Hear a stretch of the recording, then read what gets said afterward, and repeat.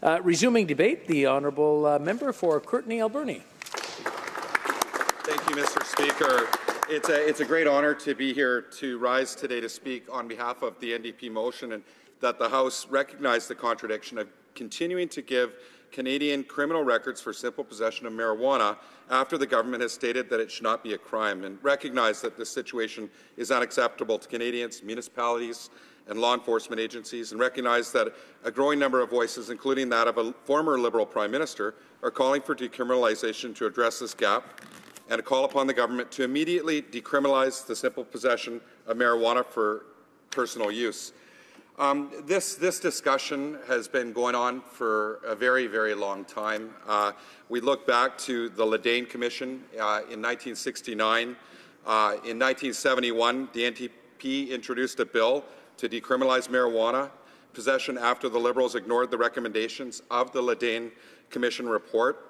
In 1993, again, uh, NDP MP Jim Fulton introduced a bill to legalize marijuana in Canada, and the Liberal government voted, again, voted it down as well.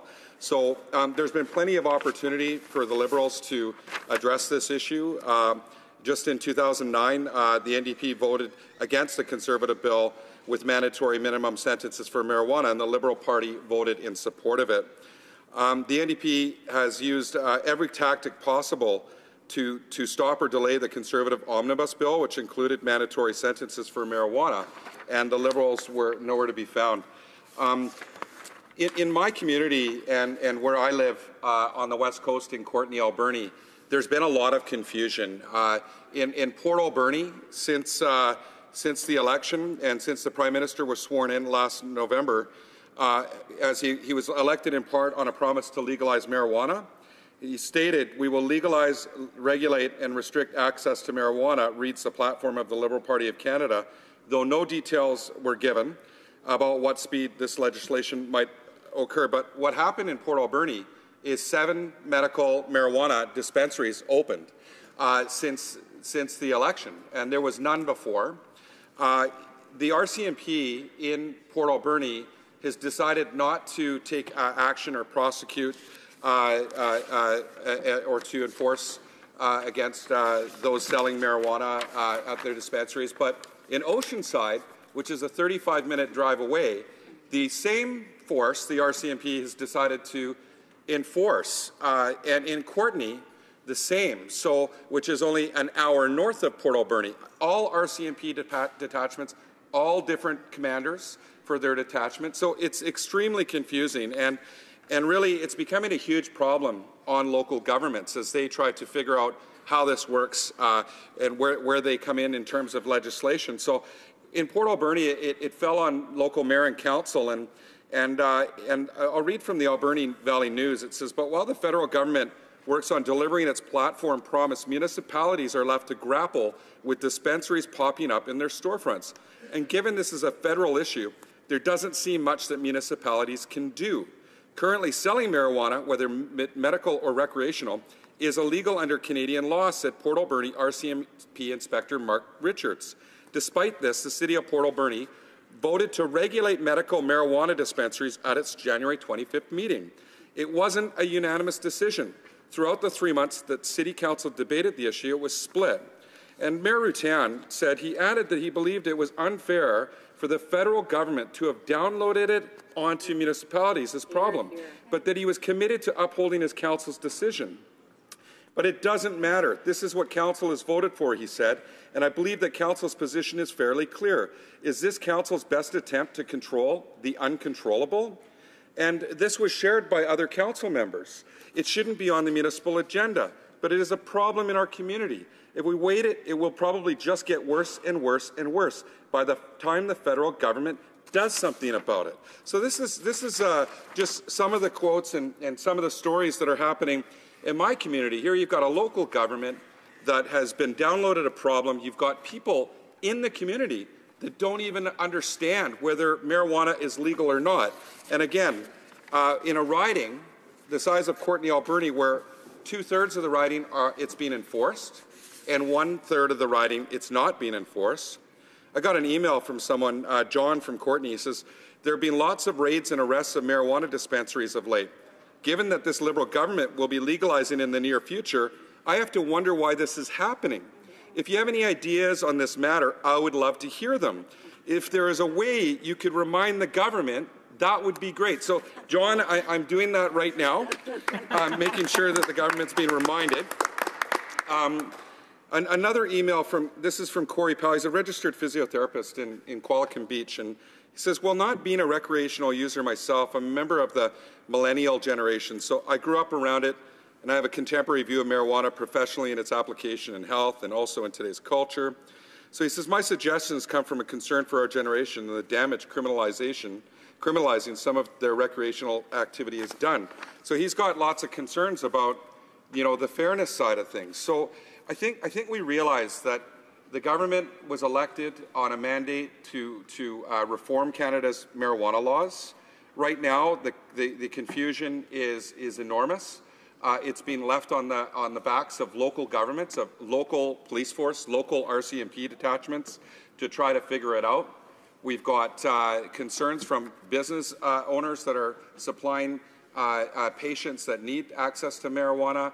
We don't know where supply is coming for a lot of dispensaries, so there's confusion there. Um, we, we want to make sure that uh, that we, uh, we, have the, we, we, use our resources when it comes to the criminal justice system for, for things that, are, that matter, for, for things that matter, and we want to make sure we use our resources to, to protect the vulnerable and make sure that we, we give people the resources to be able to avoid some of uh, their choices that might harm them. And I, I feel it's actually very, very wasteful that uh, we're spending time prosecuting people that uh, may, might affect their, their potential employment, that might affect uh, their ability to travel in the future, when we know that the government has, has, made a commitment that in a year down the road or so, it's going to be uh, it's going to be legal. So why wouldn't we uh, make that decision now? Why wouldn't the government and the justice minister make a directive to the courts to, to stop enforcing uh, the, law, the marijuana laws of today, to stop prosecuting people in courts, stop chasing uh, young adults and, and people uh, uh, uh that maybe could make better choices if we took a harm reduction approach. And uh, we, we, know the government was elected on a, a willingness to change. Um, we want to get it right. We, we, know that harm reduction approaches have been taken in countries like Portugal, uh, countries around the world. The NDP has laid out a very thoughtful a very respectful plan on how to move forward with reforming Canada's uh, marijuana laws. And uh, right now, my, my, big concern is the government made a promise. They had no plan. It, it, it feels like it was made on the back of a paper napkin. Um, there's been no action, and it's very unclear and creating a very messy situation. And, and really, we, we need a decision. And when we talk to people in British Columbia, uh, uh iPolitics actually just did a, a, a uh, a survey, and it said that uh, possession of small amounts of marijuana for uh, personal use should not be a crime, and 73% of British Columbians agreed with that, and 16% of British Columbians didn't agree with that. Well, I wonder why. Uh, you know, people have, uh, after what they've seen, when they look at our history and the failure of the approach of previous governments in taking this issue on, when they see the mess that's being created today, uh, people don't have to look far. They can walk down the main street of Port Alberni. They can walk down the main street of many communities and they can see that uh, deregulation, um, I, mean, uh, the lack of, the lack of uh, uh, leadership on this issue is clear. Uh, it's creating a gray area, and it's not doing what the government set out to do, and that's to protect young people and the vulnerable. So, Mr. Speaker, I, I, call on this government to, to, to support our motion to support decriminalizing marijuana, to support using our resources for what we, we need them to do. And that's uh, take, a, take a more positive, progressive approach and follow through with their promise, Mr. Speaker. Thank you very much. Questions and comments? The Honourable Member for Scarborough Southwest. Thank, thank, you very much, Mr. Speaker. I just wanted to, to, to ask a point of clarification. Um, the, the member opposite, and I thank him for, for his remarks, uh, but he gave some indication that, that it's on the backs of the RCMP, this, this confusion he alleges exists. So, notwithstanding that, quite frankly, on this side of the House, I don't think we could possibly be any clearer that the law remains in effect, it should be obeyed, it should be upheld, and it should be enforced. But at, at but at the Public Safety Committee, um, about a month and a half ago, the RCMP commissioner appeared before that committee, and at that time, he made it very clear, and he stated that the confusion around the enforcement of marijuana laws should not be overstated. And in light of those remarks and that clarification coming from him, I wonder if, if the member opposite wanted to clarify his remarks. The honourable member for Courtenay Alberni. Thank you, Mr. Speaker, and, and, and I want to thank the member for, for the question. Um, I, I, again, there's so much confusion. I mean, here uh, it's a perfect example that the RCMP commissioner himself is saying that uh, that they're, they're they're going to enforce the law, and then two detachments of three in my of the of the four in my riding are enforcing it, and two aren't. And so uh, it's very confusing on the ground about where they're going. And, and I find it actually really disgraceful that, that they're even pursuing continuing to charge people when we know in a year it's going to be legal according to the government promises. So why would the government be charging people today for something we know is going to be legal in a year? It doesn't make sense. It doesn't make sense to anyone in my community. And I think you'd be hard pressed to, to sell that on the streets of Port Alberni, Oceanside, or Courtenay, or anyone in Courtenay, Alberni. Here, here. Questions and comments? The honourable member for Sherwood Park, Fort Saskatchewan. Thank you, uh, Mr. Speaker. It's been interesting for me to hear members of the NDP as well as of the government talk a lot about other jurisdictions, and yet when I asked the parliamentary secretary if he could name a single jurisdiction where decriminalization or legalization led to a decrease in use, he wasn't able to name that jurisdiction. So I wonder if the NDP, given that they're advocating this course, can do better because all the evidence I've read suggests that, for better or worse, there is an increase in use when you make the laws more permissive, and that's only logical. I do want to ask him as well. Uh, with respect to the conservative position, because some members have said that we support decriminalization, which we certainly do not, we, we instead passed a motion, and I supported it, to have a ticketing option to continue to have marijuana be a criminal offense, but to allow police to use a ticketing option.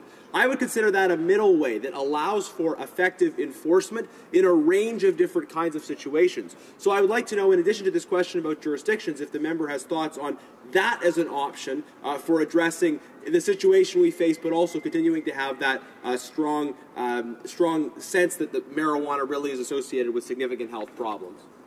The honourable member for Courtenay Alberni. Well, first, I'd like to, to, to thank the member for, uh, for putting forward some, some ideas on how we can move forward, to talk a little bit about the past. And when we look at the past, uh, and, and, we talk about previous governments, a conservative government, it, it didn't work. I mean, it clearly, uh, we didn't see uh, uh that approach uh, reduce marijuana use. When we look around the world, I will cite some examples.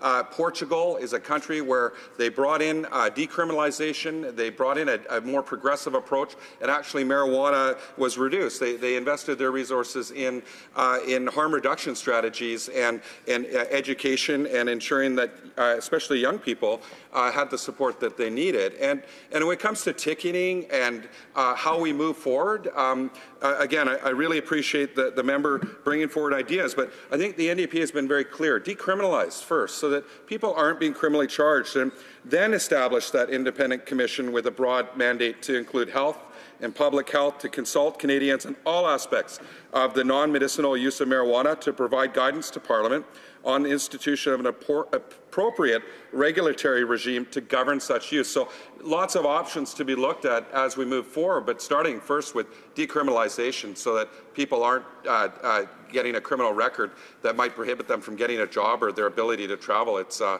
it's certainly not an approach that's worked uh, in Canada, hasn't worked around the world, the current laws, uh, the way they are today, and uh, we have models around the world where it has worked. So thank you to the member. Reprise du débat, l'honorable